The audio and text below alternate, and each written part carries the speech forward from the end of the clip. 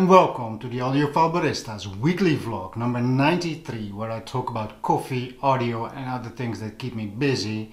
And last week I did a little experiment with you guys about recording my sound and well let's look what happened. So first of all, I want to thank everybody who gave a comment. It's very helpful, but the differences in comments are so big that I'm not really sure what to think of it. So here someone says that he's happy that I'm playing some music and he says it sounds very nice via the iPad. Another comment says, I love those Oscillias, great, great sound. So that's positive. Then somebody says, well, it didn't seem to be the greatest microphone, but that's not the speaker's fault. I know it did not sound the way that I experienced my sound in my listening room. Here somebody says, I'm not sure if it worked. I feel I'm hearing the room too much. That could well be possible. And he is suggesting a binaural setup. Well, I would love that, but I don't have the funds to do so. And here someone says, fantastic speakers. Fantastic music and coffee. Does it get any better? No, it doesn't. And here someone says, I think from what I what I hear, I can tell that your system sounds very warm and organic. Sounds very good, open and big. Those speakers are amazing. And then I have somebody saying, sorry, it sounds nothing to talk about. Here somebody says the microphone does give a good impression, but I'm sure it can be done better. And somebody says it should be better. It sounds a little bit boxy and lifeless through my audio setup. So, oh, and here's one more. Just use a smartphone, works for me. So, all in all, I got a lot of different comments ranging from this is not worth talking about to great, great sound. So, let's go back to the vlog because I think I need some coffee.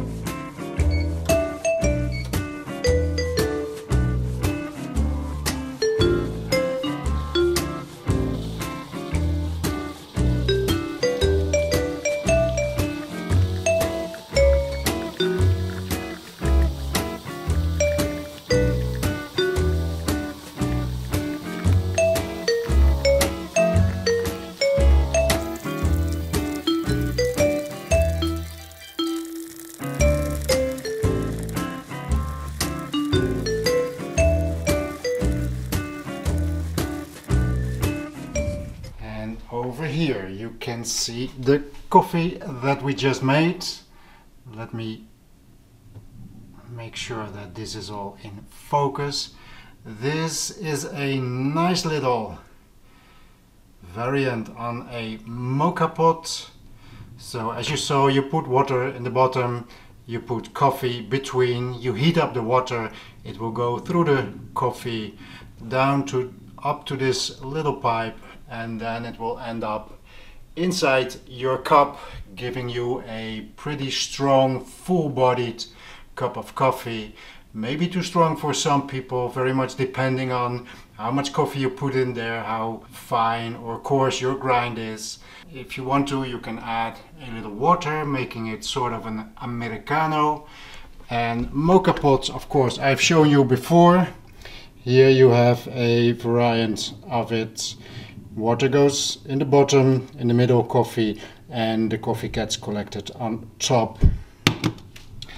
And these cups were gifted to me by a friend, one of you, the subscribers, who invited me at their home. Have a little listen at this system. There's a video coming out on that one somewhere soon. I'm not making any promises about when I put out a video anymore because I have to combine it with the work that I that I do and every week is different. So it's a very unpredictable schedule, so I'm not making any more promises, but I think this little moka pot, which was gifted also to me, I think this is just a wonderful thing.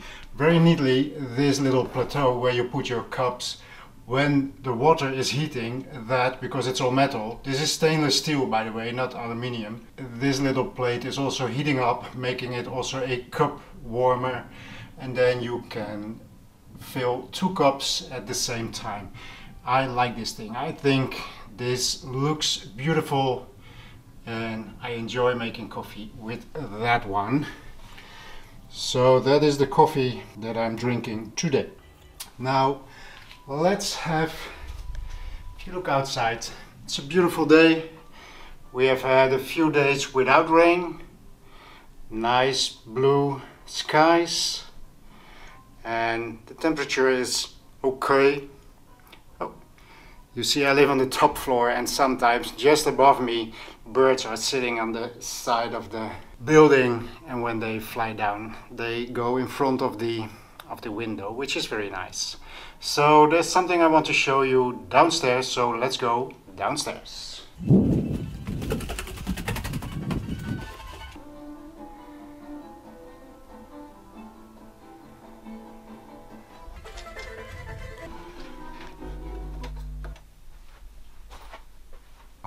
Okay, so let's put on some lights down here. Where's my little... So there's one... Let's turn it on. Come on. Yeah, there you go. So that is one. Over here I have some connectors which are for that light. And I have a big light on top that I can turn on and there it is. And there is a light over here. Let's turn that one on. Also having a little bit of a better view of what's happening here. Because I've told you I've told you that I was busy selling these Q acoustics. And if all goes well next Saturday so tomorrow in this case somebody will be here to pick them up. Let's see if they actually come. And if yes I will have a little bit more budget to try and find some different stuff that could be interesting for you guys. For now I just want to give you a last look of the Q acoustic loudspeakers with this stand. The stand actually is for a smaller model that is below here. And that one is are the monitors that I use at my computer at the moment. Um, so this is what I have over here. These are nice little speakers but they just don't deliver the sound that I like. So time to sell them and go on the lookout for something new. Let's go back up again. So last week I showed you my thrift store scores and this week I actually because you can now in the Netherlands you can reserve some time to shop in a store so they control the amount of people that are in the store we're not completely open yet, but if you reserve online, you can have a half an hour or an hour to do your shopping. So I booked another hour to go to the thrift store. By the way, the thrift store is just right behind those trees. So pretty close and this is what I got.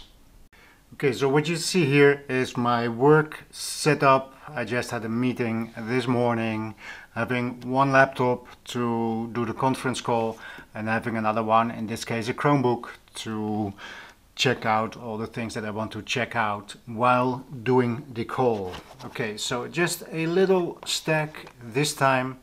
And the reason for that is that I found a lot more but lately what I'm doing is much more checking the quality of the CDs and in this case most of the CDs it, I don't know what people do with that but they looked so scratched that I thought well I'm not going to even bother with them. But I had some very interesting things that I uh, that I found. Let's start with this one. This is a recording from Sibelius and the interesting part here is the SBM, the super bit mapping technology that they used. Of course, when this came out, they really did a big job on um, advertising, getting digital better. Of course, we had step by step by step to improve digital, and now we're at high resolution, stuff like that. But this is pretty old, as you can see over here. I don't know if you can see that but it says F2995. So when this came out, I believe somewhere in 95, 1995, it was 2995 guilders because that was the Dutch currency that we uh, use and the reason that it says F29 instead of G from guilders uh, 29 is because before we used guilders we used florins. I don't know if that is the correct way to pronounce it. Florijnen, that's what we call it in the Netherlands, and we kept the F. So I listened to this one uh, yesterday, and actually this recording is very nice, and I don't know if it's due to the super bit mapping technology, but the sound was very sweet, very luscious, and I enjoyed this very much. So that's one that I picked up. And as you can see, 75 cents. I'm not leaving a super bit mapping CD with classical music. I'll take it for 75 cents. Okay, so here we have some Bobby McFerrin. This is paper music and as you can see conductor and vocalist that's what it says this means that Bobby McFerrin of course the guy from Don't Worry Be Happy but later on in his career he became very much into classical music and now he combines his vocal talent with classical music and he even became a very competent director, classical director. So this one was a little bit scratched, more scratched the CD itself than I would like, but I did not have this one in the collection. And I have a lot of Bobby McFerrin, but I needed this one still in the collection. I believe I have to turn down the lighting a little bit. And as you can see here, probably the theme of today is that this is also super bit mapping. And even though there were a lot of stretches on there, this one played really, really nice. Okay, so here's an interesting thing. This is Linda Ronstadt, Más Canciones People, of course, know Linda Ronstadt. Some people may not know that she has roots that involved Mexican songs. And she lived in Mexico or in the neighborhood. I can't remember exactly, but I saw a documentary of uh, Linda Ronstadt recently. It was a very good documentary.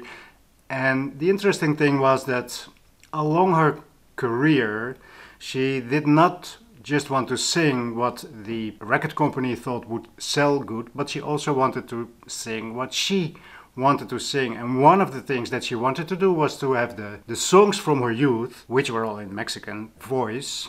Uh, and if this is not Mexican, correct me in the, in the in the comments below. And she made a whole CD. So that's what I heard in that documentary, which we watched maybe a month ago, something like that. And what do you know? I'm looking through the CDs in the thrift store and there it is for 75 cents. So that's in the collection as well. So I listened to it yesterday and if you like this music, this is pretty well recorded. Give it a listen. Okay, here we have a classic that everybody knows of course.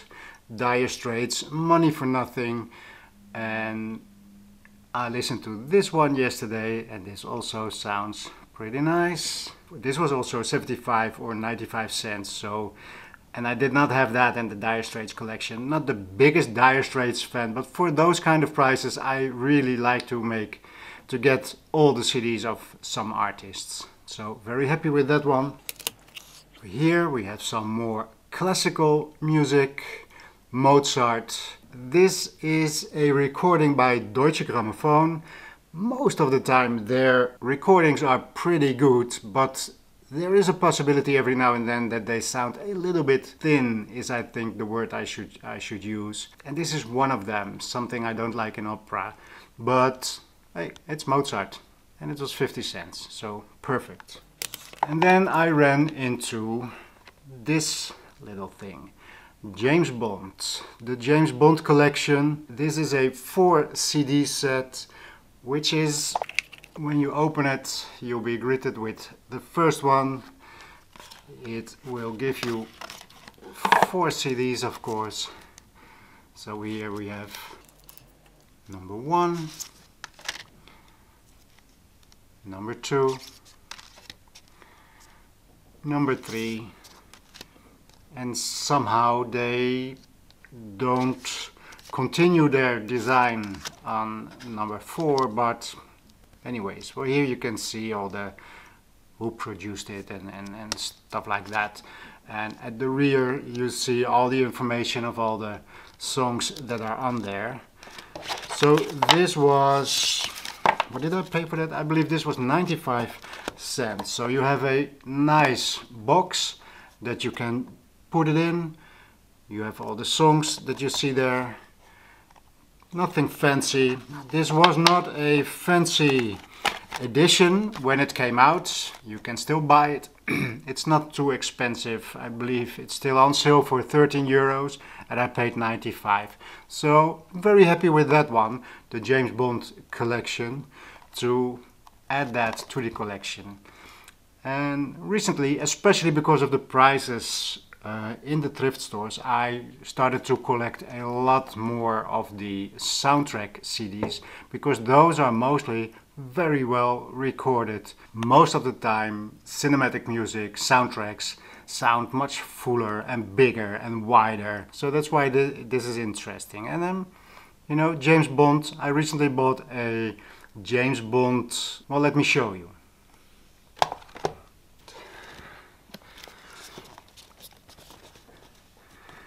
This is what I picked up on Craigslist. This is all the James Bond movies and all on Blu-ray very happy with this edition. I like the the artwork on it, very minimalistic. I like that. You can choose to have this side on front with these uh, letters, the James Bond logo or the James Bond collection, or you can even go more minimalistic. So if I now if I open up this one, Ah, well, I, I, was playing James Bond two days ago, so not all the boxes are in here. But what they give you is a few of these boxes. It will tell you on the sides what years they are from, they are covering, and if you open them up, not too fancy, not a lot of informational booklets, or stuff like that. Just all the different Blu-rays in one nice sturdy box, giving you the opportunity to watch all of them. And all the boxes are the same. No art, no uh, booklets, just the discs. But you just got get all of them. All right, if you look at the back, all they give you is the names, the titles of the different movies, and that's it. A little bit of information down here that is required, but yeah, that's actually it. And you know what? I like this minimalistic style. I like it when boxes are very luxurious, but I also like it when it is just the basics and nothing else. So, and now we have the soundtrack also. So I'm very happy with that. Okay, so this is my thrift store score for today. Let's finish off the video. Okay, pick the camera off of the tripod. Here we have our my beautiful view. Today I'm going to finish off, I'm going to think about trying to record my system with this camera, the microphone again, with my telephone and see if this is happening. But for now, I think my first response is to not have a sound sample, sample video up anytime soon because the differences in how this is perceived are well, they are crazy big. So I have to think about what I'm going to do with that. But for today, I thank you for watching and I'll see you next week.